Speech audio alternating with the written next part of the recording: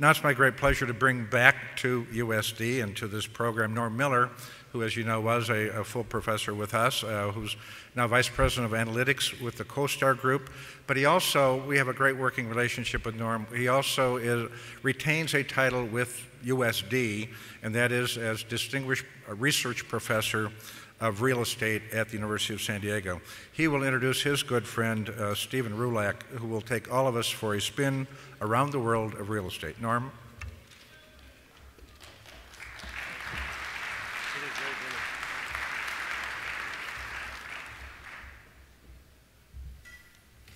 Thanks, Mark. Mark said I already had more gray hair. I think he's right. Uh, it's my pleasure to introduce a friend, advisor, a mentor to, uh, to me over the years. Um, Stephen Roulac holds more designations and degrees than anybody I know. He's got the CPA, he's got an MBA from Harvard, he's got a JD from UC Berkeley, he's got a PhD from Stanford. I think he also has a BS and an OMG from somewhere. Um, he now heads Roulac Global Places, a global strategy, financial, uh, economic advisory firm uh, that advises on significant real estate investment decisions. And he also is the chief investment strategist for uh, the Roulac Global Funds, which invest globally in real estate securities. Um, Stephen's advised over 600 clients, 400 of whom are, are still in business. I'm kidding. That's, that's probably high with assets that were once over $50 billion. Stephen's worked um, and traveled extensively. He, uh, he has a number of um, uh, operations down in India, and uh, he's consulted in just about every country in the world. He's also a leading author and academic. He's been one of the leaders in the American Real Estate Society, uh, where he's co authored uh, more papers than you could possibly fit on a, on a normal resume. Um, he also is a professor at the University of Ulster, um, which explains why his language sounds a little bit more like Sam Zell nowadays. No, I'm kidding. I'm sure it's going to be a little bit, a little bit more subdued than, uh, than with Sam. But uh, we have his full resume, uh, not full resume, but an abbreviated bio in the um, program brochure. And at this point in time, it's my pleasure to welcome Stephen Roulac, my friend and advisor.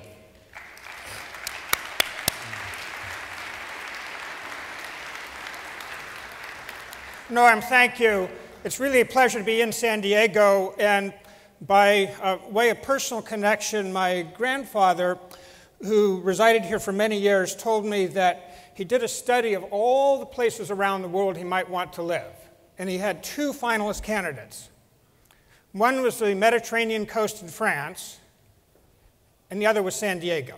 And so early on, I got exposed to San Diego, and from my athletic involvements in running races coming down to uh, Balboa Park and enjoyed that, and then seeing my bicycling 1990 and uh, Masters Nationals were here, and looking at, can we get this on? got the wrong one. We're supposed to start with the. Okay, yeah, right here. I think bicycling gives us a very interesting metaphor. How many in the room here uh, either bicycle or follow bicycle racing? Okay. And of course, what's exciting is seeing Lance Armstrong coming back and uh, competing, going for number eight this year uh, with a team that's going to be Radio Shack, totally dedicated. It's going to be interesting to see how much of that technology they may use in some of the communications. But if you think of bicycle racing, how many people practice it, it's riding with a peloton. You're riding with a peloton, and it's very much a dicey, risky kind of situation. Who might prevail? Sometimes the strongest rider wins, oftentimes not. But if you break away, if you differentiate yourself, if you do something different than what others are doing, you have a much greater prospect of going forward. And I'm going to suggest to you today we are not in an economy in which you want to ride with a peloton. We're not in an economy in which you want to ride with a peloton. to differentiate yourself, to break away, do something different, that's going to be the opportunity for very strong rewards. And developing these points a bit more, um, curious, how many of you know the artist George Seurat? Okay, fascinating. This is Sunday in the Park with George. And I would suggest if you look in the upper, upper panel there, that is somewhat analogous to thinking at just the property level, just looking at part of this particular painting. If you go down to the middle panel level, you're then seeing what might be the metro in which, the prop, which a property operates. But to really understand what's going on, to make sense of the entire picture, you have to take everything in. And so we're suggesting if you take a bit broader perspective, look at things in a little bit larger context, you're going to have uh, perhaps better insights what's going on. Now, I have to tell you, I'm going to cover a lot of material today, a lot that I'd like to get to, but we're not going to have time. And for those of you who want to get more, I have some information sent on your table. You have a chance to look at that. And we've heard prospects about you know, what might happen to the real estate markets and forecasts and so forth. One of the dilemmas is that a lot of people tend to think of things from a single dimensional perspective. And we suggest what you want to be looking at is an array of scenarios. This is our model of what we see happening in the market. We show back in 2000 peaked coming down, and you have your optimistic mid case, near worst, uh, worst case situation. Strongly urge you do not make your plans on just one scenario. Don't make your plans on just one scenario. Consider an array of possible outcomes and position things accordingly. Now, extending this, just to give you, in a sense, and sorry the light's not so strong in this, this shows one of the models we've done looking at the CMBS investing opportunities today as we perceive them. And we're looking at applying those four scenarios, running them through certain assumptions, how different DSCR LTV factors are going to apply, and what that might mean.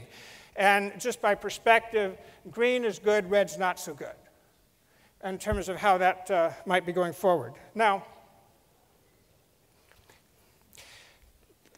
concept we would suggest you want to be keeping in mind Albert Einstein, do not apply the same thinking that got you here. I think a lot of the commentaries you're seeing, people are essentially saying, well, where have we been? Where might we be going? Uh, we're going to be developing the idea the world is very, very different. Now, I'm just curious. Could I ask people to stand? How many people in this room were born in San Diego County? Would you stand? Born in San Diego County. Okay. Thank you. All right. Now, could I ask, how many people were not born in San Diego County? Would you stand? Wow. Okay, thank you. Now, if you were running a real estate business, would you want to depend just on the people who were born in San Diego County? Pretty risky, right? A lot of you made a choice to come here for any number of reasons. And we're going to suggest that the critical consideration to be successful in the real estate business is to understand why do people make choices to go where they go? How do those choices create demand? And there are basically 10 critical place choices that people make that drive demand for real estate. Well, we'll, we'll see. And also, there, there, are electronic fields you have to pass through as well. Uh, We've got the choice about where people want to live and work, where they eat and meet, where they learn and play, where they shop, travel, worship, and prosper. Those 10 critical choices.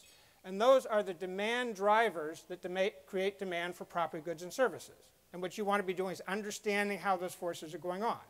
And so something's going to make it more appealing to live in a certain place will cause people to want to be living there, create demand for housing, apartments, and the like. And so it's an interplay of all of these particular elements. Now, as we look at this concept of place choice, one of the real eh, fascinating challenges today is that people can do all kinds of things in many different places or no place at all in ways never before happening, and there's accelerating advances and changes going on. And we would suggest sort of wonder, I don't hardly even want to move. Um, the considerations of traditional real estate versus the place strategy elements, which to a very large degree are substitutes, alternative ways of doing things in the real estate business. And we're going to suggest that you're in competition not just with the building in your competitive cohort or the apartment building down the street or the office building across town, but with the metros and other places and other worlds and various other ways of interacting with real estate. Now, one way of thinking of the real estate business is to consider it a game of filling boxes. If you're in retail business, you've got a store that's a box with a lot of boxes in that store of products you hope people come in and take out. And if you apply the, what Rudyard Kipling said is, you know, the honest serving men of when, where, which, why, what, how, those kinds of questions to boxes. And one thing we thought might be interesting here is let's, um, actually, no, we'll do that next. Let's pull up the, because uh, you, you all have these devices here. We're going to go through and pull, pull some of these, uh, play up these, so get these ready to go. We're going to move a lot faster, though, on our questions than before. So and all of you, of course, are highly, highly skilled with your PDAs, so your thumbs are very, very facile this morning, I'm sure. Uh, so let's get the, uh, the first question set up. Okay, and what I want to look at here is the size of spaces and the stuff you put in them. Are we going to be going into a world where you basically have more stuff in much larger places? So a more is much more environment. Or it's going to be more stuff in bigger places, more is more, less stuff in bigger places, more spacious and less, connect, less crowded, more stuff in smaller spaces, same amount of stuff in same size places, less stuff in smaller places, or much less stuff in much smaller places. You're going to live really large or live smaller. Are you going to live spaciously or live crowded? So let's see what, uh, how are we doing on our count? Okay, everybody, anybody need any more time? Okay, let, let, let's show the results on that one.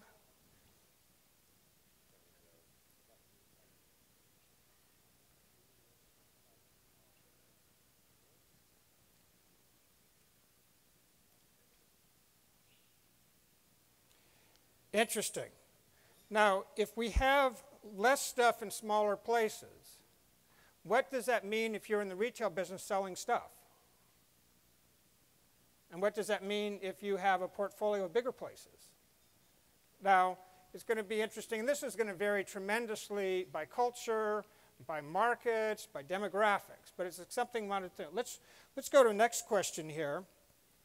And moving this and talking about the social media question. And what I want to do is get a sense of the room, how, much, how people are working with social media, Twitter, Facebook, LinkedIn, MyPlace, blogs, Plaxo, YouTube, Delicious, StumbleBun, StumbleUpon, Digg, et cetera, et cetera, et cetera. And so, number one, not using social media and don't plan to do it. That'd be the first answer. Second, you're now using, you're not now doing it, but you want to start doing it sometime. Next, you've started using it. Third, you're actively using it.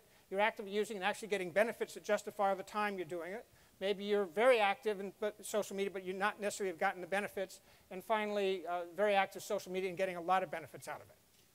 And so indicate where, where you'd be on, on these on a on one to seven basis.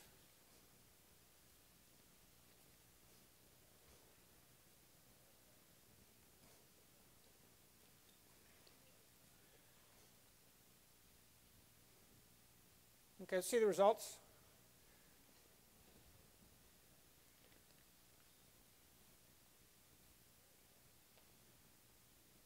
Interesting. Now, to some degree, these results reflect the demographics of this room. Okay? Maybe to a big degree. Now, if we had asked, because I think there are a number of people here who have children of a certain age, if we were to ask you what this response would be if you were answering for your children, would it be different? Okay? Now, if you have a longer time horizon, and you're thinking about who are going to be the tenants of my buildings in 10 years, or who's going to buy my houses in five or eight years, or who's going to shop in my places in so many years, might those numbers look slightly different? Okay? All right, let's go on to the next question. The expansion of communications networks, knowledge networks, globalization will make real estate decisions substantially less critical and less important. So essentially, this idea is there was a book out by Frances Cairncross said Death of Distance, economist technology writer about a decade ago. And she essentially said, well, distance isn't going to be very important. Distance is going to render physical environments less important, so it's not going to really matter much. So it's, with all these technology globalization, what's, what's that going to affect? Strongly agree, agree, neutral, disagree, strongly disagree. Well, you, you're fast. Let's put the results up on this one.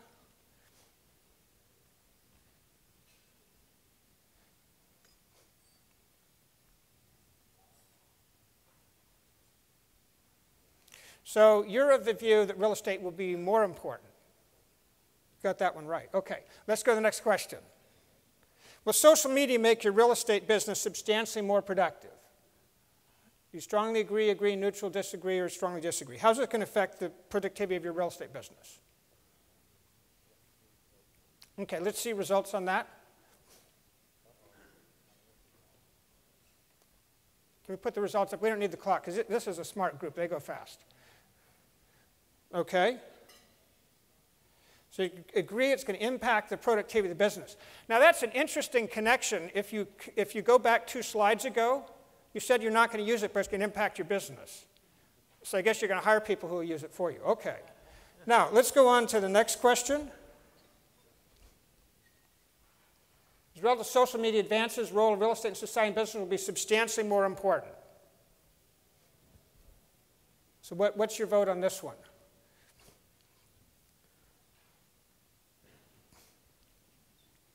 Can we see the results?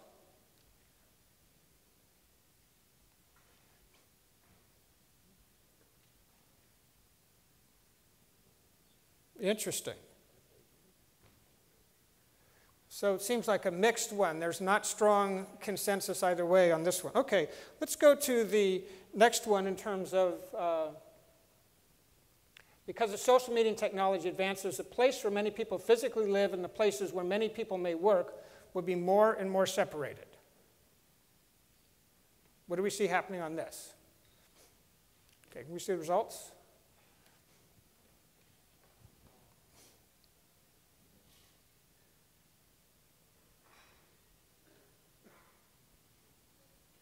Okay, it's interesting, there's a polarization here. Now, would it be useful to know this about your target client in terms of how you would be positioning your property strategy and communicating what you're doing? Okay, let's go on to this next question about how, what you might emphasize in your investing decisions. And here what I want to describe, looking at different things. Deal analysis may be most important, market timing most important, portfolio diversification most important, policy and strategy most important, deal analysis and portfolio diversification equally important, or primarily you start out emphasizing policy and strategy, then secondarily portfolio diversification, and third deal analysis. Very different approaches in terms of the style of how you'd be thinking about what, what's important and what drives your business. So describe which, uh, indicate which of those would be most, most descriptive of how you would approach it. Now, this particular question, a couple others, I'm going to hold off putting the results up because we're going to actually come back and, and revisit these. So we're not going to put the results up on these immediately. Okay, so let's go on to the next question.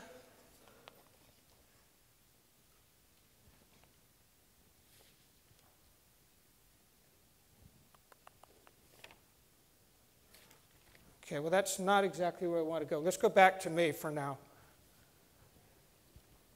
Can we, can we hold, the, hold those questions and, and, come, and defer on those for a moment?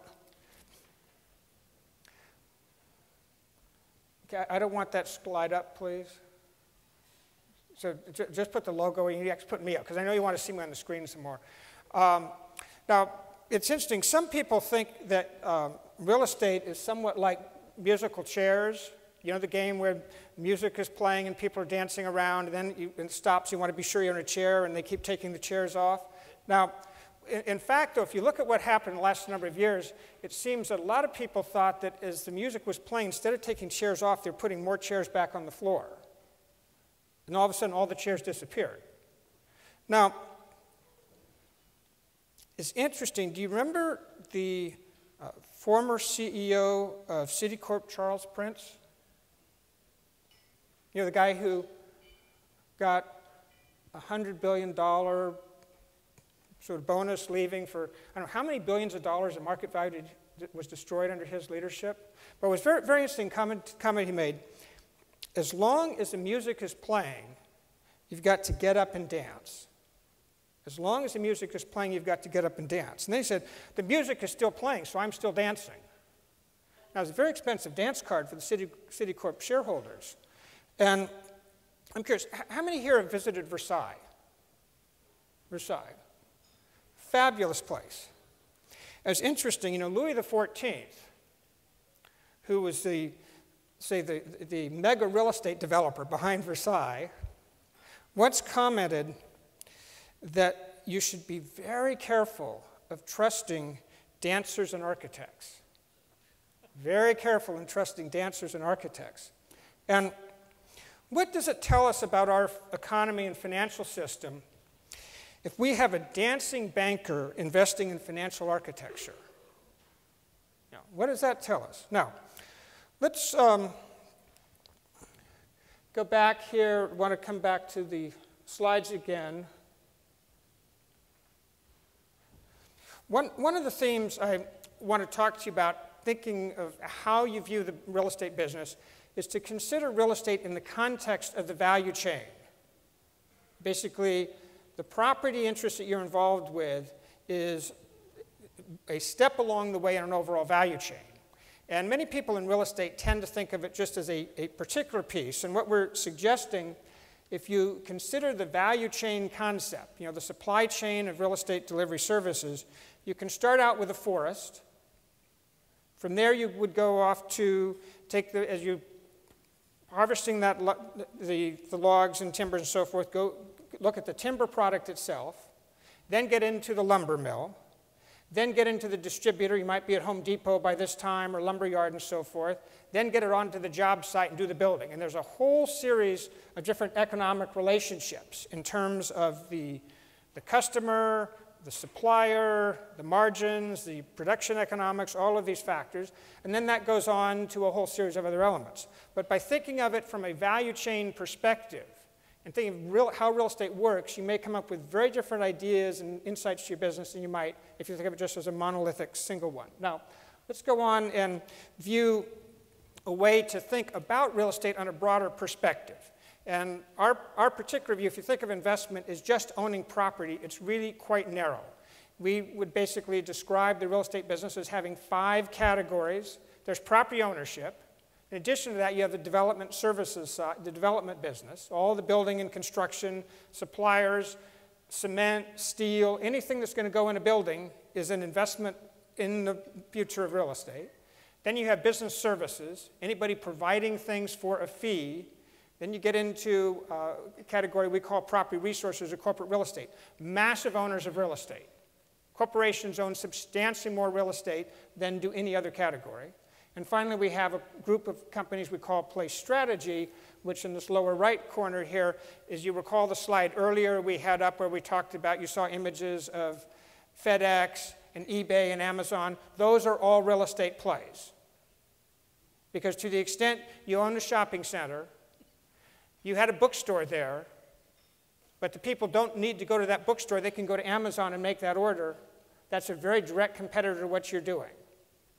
And to the extent you have people that can say, well, depend, instead of having just to go to work within a, an accessible commuting distance, we can now send our work to a very far away, distant activity, distant place, so using FedEx or we'll just send it virtually by using a Cisco product or software of some sort, et cetera. Again, those are all real estate companies. So they're very much in the real estate business. And we would suggest a growing share of what's happening in real estate is controlled by so called non traditional real estate companies.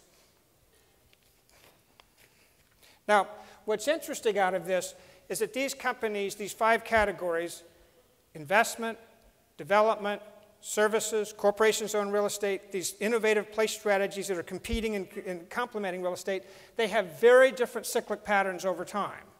And so what may be good for one segment may be not so good for the other segment. And so as you start thinking of this from a portfolio effect, you can do things very, very differently. Now, one of the interesting phenomenon of uh, looking at the real estate business looking at the investment business is consider where is the payoff. You recall the question a few, a few moments back where we asked you, say, do you look more at deal analysis or portfolio diversification? You know, how do where's your emphasis? Here I'm sharing with you some very interesting research on how people make investing decisions.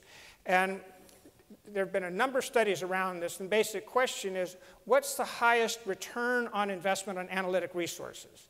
And one thing I have to say, I was impressed in business school, not so much by what they did, but what they didn't do.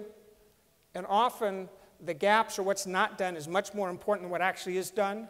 You know, what's missing may be more meaningful to you than what you actually see. Is there was a lot of discussion about return on investment, return, you know, finance, financial analysis calculations dealing with tangible assets. Very little was done with human capital. Very little was done with the consideration of how much time is it going to take. You know, we, we learned all these fancy models, but it was treated as if one model that you could do in a minute was treated the same way as another one that would take a month to do. And so if you're going to look at how do you, how do you spend your time, where's the payoff? And if you look at this, on, you find that the majority of uh, people emphasize deal analysis Secondarily, they look at how they take this deal and put together with that one and that one and construct their overall portfolio. And on a third level, they deal with the policy and strategy. And I'm going to suggest to you that most people have it in reverse order. And let's see, our graphics are not necessarily coming up here. The uh, element which we want to show is if you look at your chart here under investing policy, the research allocation is just to the left of that line, where the performance contribution is way to the right of the line. And the portfolio construction is about midway to the left of the line, and the contribution about midway to the right. And deal analysis far to the left of the line in terms of allocation, contribution much less. And let's see if on this other one we get the, yeah, here, this, this graphic shows the point. You basically see too much resources, disproportionate resources, are spent on activities that are not that rewarding. And way too little resources are spent on what has the most reward to it. It's a value engineering concept applied to how you allocate your time. And the payoffs, again, we suggest, are going to higher orders of time. Now, let's go back and come back and have a few more questions here on our survey, and we want to talk about the impacts of globalization on how that's going to impact performance of business, real estate. We're going to do both commercial and residential. And so we get the next question up, please. Okay, growing globalization is going to impact business performance in the U.S and its profitability very positively, positively, neutral, negatively, or very negatively. And you heard some interesting comments. Sam Zell was talking about this. The prior panel had some very interesting observations about perspectives and different players. So, will growing globalization affect U.S. business performance and profitability uh, positively through negatively?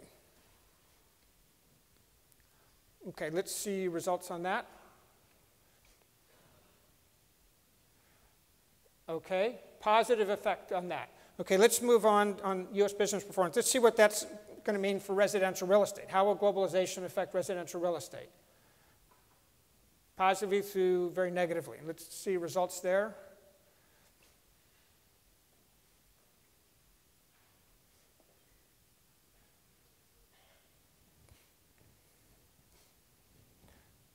Okay, even, even stronger in residential. Now let's see what about commercial real estate.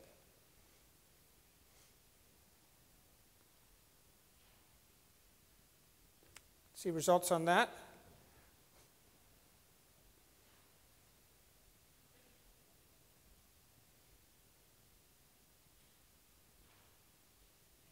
Okay, again, similar exercise. So people think globalization would be better for commercial than residential. That's interesting.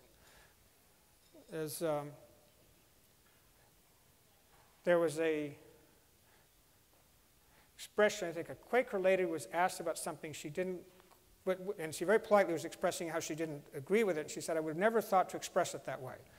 Um, let's go on and look at the investing risk and rewards of globalization. Okay, see the results.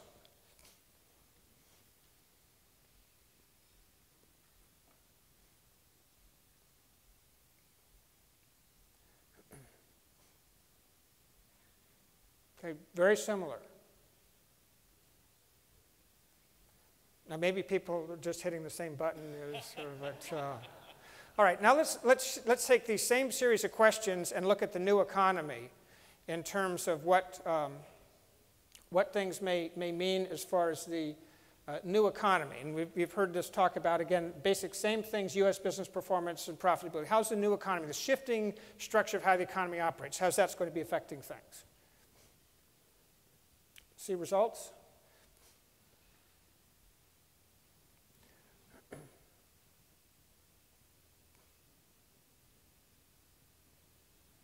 Okay, negatively.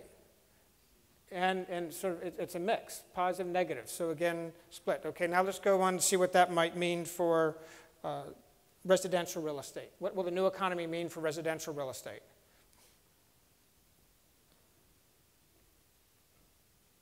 See results?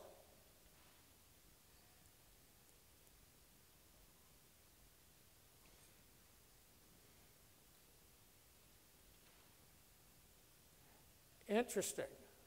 And let's see about let's see what that means now for commercial real estate.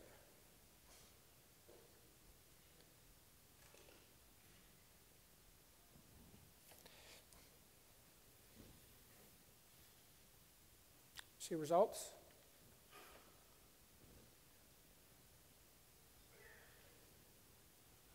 Great. So interesting, the, the global economy, globalization can be positive, but new economy negative, okay? Um, and investing risks and rewards.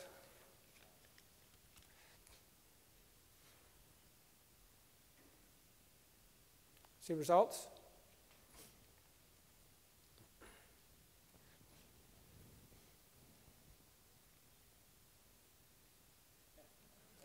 Very spread. Now, one interesting takeaway, and I want to spend some time analyzing these numbers a little bit later, but one of the takeaways is that there seems to be some divergence on any one question, and there's not necessarily a consistent pattern question to question, you know, cause and effect and sequence. Now, to me, on a policy basis, say, well, geez, they aren't getting it so much.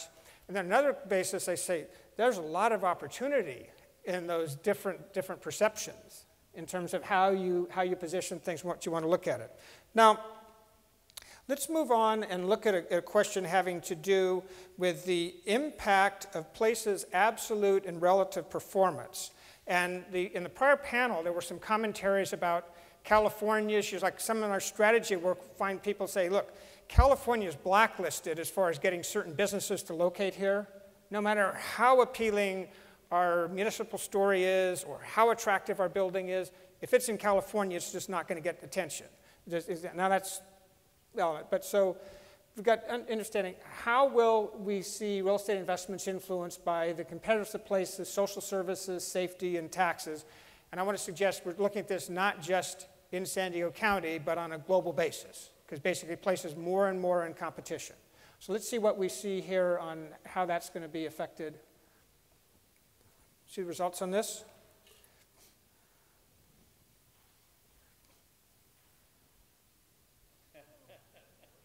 I guess, can we, go, can we put that result back up quickly? Because I'm not sure everybody got to see it. Okay. Strongly agree. Okay, let's look at one more question. What's real estate business in 2015 going to be like? Is comparison day. It's going to be profound and fundamental change, and these changes will be widely recognized or it's going to be profound fundamental change, but people will try to operate in the business in as usual manner. So it'll change a lot, but they won't necessarily be, be wanting to recognize it. Third, modest evolving change. Fourth, going to be same as before, not much change, but with more discipline and smarter, and smarter decisions. Some of you may have seen that movie before. And finally, same as before, not much change with cycles of excess and mistakes repeating. How, how do you see the real estate business may be, be playing out? Okay. Um, we're going to come back before I show the results on, on this slide, because I want to come back and do it again. Um, but I'd like to get another slide up here. Okay, let's see. Yeah, I'm sorry, the, the, the colors are not coming out on, on this one as well, but what we're showing here is the dominance of, of real estate in the US economy from 1947 through 2007. And what's fascinating is in what we've basically done is an input-output analysis of the entire economy, real estate activity, how it plays through. Because example, like um, that shirt you're wearing, you went to store to get it, right? Or did you buy it online? Or got it at a store. Now, when you went to a store to get it there, you, did you interact with a, a, was it one of those unique stores that actually had helpful salespeople, or was it self-service, or? I, I chose by myself. You chose by yourself, but there were salespeople you could have done there. Now, whether they helped you or not, you still paid their salary when you bought that shirt. And when you went to the checkout, you paid somebody else. And if you walk, walk all the way through, you're basically walking around wearing some real estate, right? In terms of the economic consequences. And so what we basically do is take every transaction economy, run it back through. And we found if you go back right after the Second War, the economy, about 40% was real estate. Today it's over 50%, and the rapidly evolving developing countries that we do a lot of our investing in, it's up in the 55, approaching 60% range. And so very interesting elements. And one thing that doesn't show up as much here, you know what big factor that drives real estate being so much more in the economy? Financial services. Yeah, if you, do a, if you take apart the economics and numbers in a property, you're going to find the finance cost, the capital cost is a big factor. So let's go on. I want to show you quickly about some of the changes in employment destroy real estate demand. And we, we've, we've tracked here basically the top 10 metros in the country. And that's a 20 year time horizon. You can't quite see so much. But one of the elements to look at that's very sobering is look at the demand, look at the job growth in the 1990s. And then look at it in the, 20th, in the first decade of the 20th, 21st century. You know, basically, it's about neutral. The jobs that were created have been subsequently lost. And it's also particularly notable is look at the job base that was created in the 1990s compared to where we were now. And then as you reflect on the President's State of the Union speech, night before last, big priority, where those jobs are going to come from. What's particularly interesting here is we do the same analysis, then breaking it down by different sectors. And again, one of the things comes out, tremendous variability and change. And finally, I want to show you here, as we've tracked the growth of the real estate markets, top is assets, below is the debt composition over the last 60 years. And you see tremendous increase, but starting to come down. And so a lot of factors are underway. Now, one of the themes that we suggest is increasingly characteristic of our economy is a theme I'm describing as hyper discontinuity. Hyper discontinuity. And what we're suggesting is that the patterns that prevailed before are not necessarily reliable patterns in going forward. So, what might have been before, you cannot necessarily rely on going forward. And as example, tremendous change in technology. Tremendous change in technology. Values are moving a lot. Your economic basis we've just seen. In politics, if you think back, a couple of years ago, many people would have thought it would have been absolutely improbable that Barack Obama would be elected to the White House. And a year ago, it would have been a near certainty that there was no way that the Democratic Party could lose the Kennedy senator seat. A near certainty there's no way that the Democratic Party would lose that seat. And it's interesting, you know, the Boston Tea Party, going back, the revelation in Boston, again, politics. You can't count on things. Let me just give you just a quick statistic on this. The period of the high point of Bank of America stock price from October 2007 to March 2009, it dropped 94%. 94% decline. And then from a low of March 2009 to the end of the year, it was up 380%. Yeah, Sam Zell, my friend, talked about the challenges to plan with shifting rules. But I would suggest the, how many are sports fans? People follow basketball, football? Okay. Now, do you follow basketball or? Okay. Now, how would you like to plan a game where you understood that at any point in time the coaches would shift sides and the referee would change to become a player? How would that affect your planning? Incredibly. That's not too different than where we are today. And I'm now you, you, you look like you've had reasonable background in statistics and math and econometrics and so forth, right? Uh, some good, some real bad. Okay, some good, some real bad. Now, I, do you like to go to the horse, play the horses at all, or? Del Mar, yeah. Del Mar, okay, great. Now, what's the difference between picking the winner of one race as opposed to having to pick the, the winners in the entire race? Because you make a lot more money if you do the second one, right? Absolutely. And what are the differences in terms of how hard it is? The odds are astronomical. Astronomical. Okay, let's, let's go through society. Now, let's say that you've got a bet with a 90% probability, and there, there is a second event with 90%. Then what's your cumulative probability going to be at that point? 9 by 9, 81, right? Correct. 81, okay. Now, if you do a third one and it takes you down, then what are you at? About 73%, right? 72. 72, 72.9, right. So you keep going through it. And if, is, are you seeing a pattern here? You get farther and farther away from 100% certainty as you add the number of events. Now, what happens if the odds drop from 90% to 80%? 10% less chance of succeeding. Less chance. So on the second time through, instead of being 81, 64, right? And is, is, is it going to sort of continue with that pattern or will it be exponentially different over time? Exponentially different. So it's going to grow and grow. So what happens in your business life, in your personal lives, is you have more choices, more variabilities, more uncertainty, and less likelihood of getting out, the outcome you want. Higher and higher risk.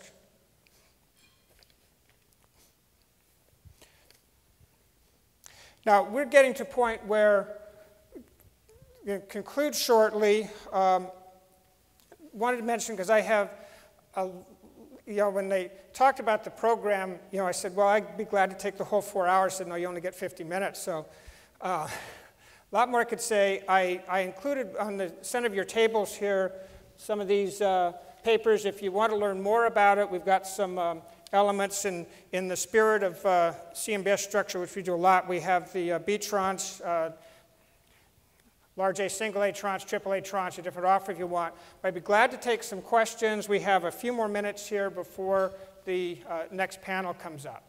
And there are points you'd like me to go into in, in more detail. Yes, sir.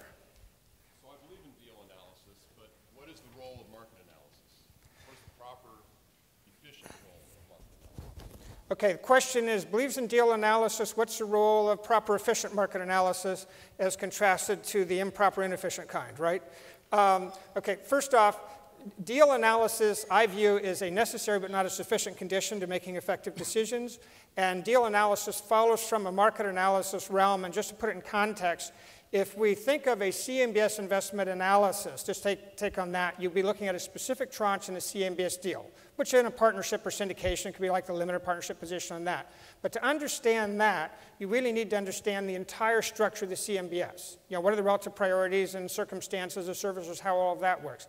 But then you have to understand what are the CMBS investing? It's investing in a portfolio of mortgages, right?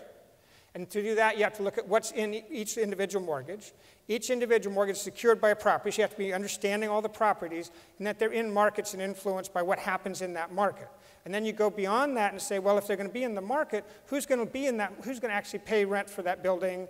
Or how are you going to? Uh, who's going to be the individual?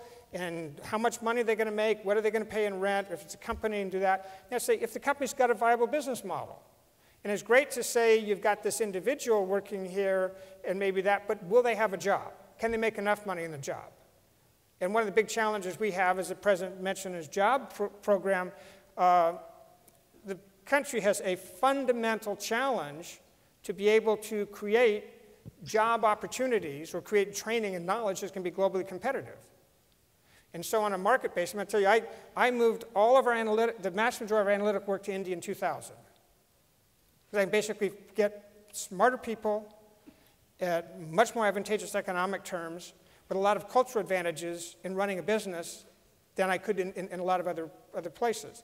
And so ultimately on a market analysis element, the markets you want to analyze are at multiple levels of place. You want to analyze a country in terms of region of country, state, region of state, metro, your neighborhood, all of that. I mean, we, we basically have a 17 level framework of how you look at that. So, market analysis is absolutely fundamental. Totally necessary, but not sufficient. There's some other factors. You have to say what drives all that. Yes. Yes.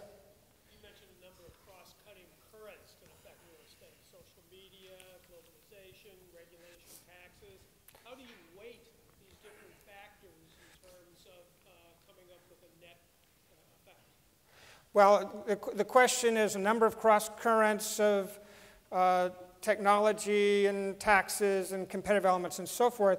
Uh, the way we look at it, we have models that operate in multiple levels of place on a global basis of country competition, state competition, metro competition. We have multiple hundreds of variables in those models. All of that's converted and analyzed. We basically come down and so then we have a relative assessment of the probable performance of a particular place in terms of the basic competitiveness and appeal of that place. And that, that's a, a way, and I, I would mention, um, you know, on, on here we, we mentioned our, our portfolio model. Uh, you know, that, that's something people can get access to that's a way of, of factoring all of that in. But the analytics are much more complex than many people have been approaching them. And I think the, the back of the envelope intuitive approach is very, very appropriate to the extent you have high confidence tomorrow is going to be like yesterday. But if you think it's going to vary a little bit, then you may want to be taking more factors into account. Let's see, one, one thing I'd, I'd like to do, which on the, on the place choice element, I'm wondering who here was the recipient of a very romantic wedding proposal? Because I was, oh, sorry, is that anybody? I'm going to have to pick some. Okay, never, I'll, I'll, maybe I'll just volunteer someone. Uh, what? Okay, great. Okay, thank you. Can, can, sure. can you, sure. now, did, could you tell us where this happened? Sure.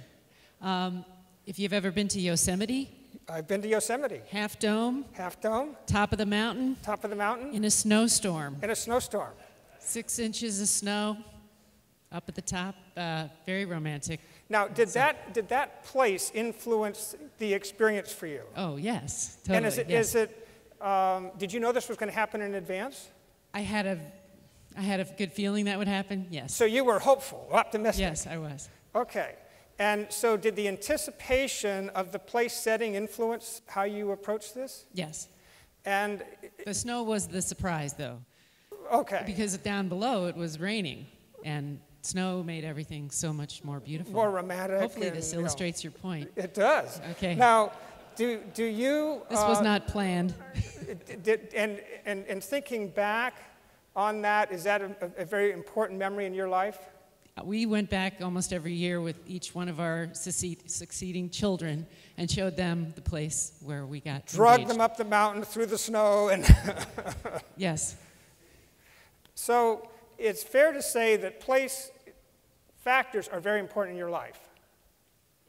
And would you suggest that sensitivity to place may influence how you do other things, how you decide where you want to shop, where you want to live, where you might want to work? Yes. Where you'd study, where, where you would go to school, et cetera, et cetera. Yes. Thank you. Thank you. Concluding comment is that we are in a society, if you look at very fascinating uh, data you said about you know, we can have bigger stuff and smaller boxes and more and more and all of that. We're in a time that people probably have enough stuff. Some people have a lot more stuff than they want. And we're going more and more to an experience realm. To the extent you can package experience in your property goods and services offers, you're going to be in a much more competitive position than those who don't. Really enjoyed being with you. I'm looking forward to uh, the next panel about learning some of those opportunities. Thanks.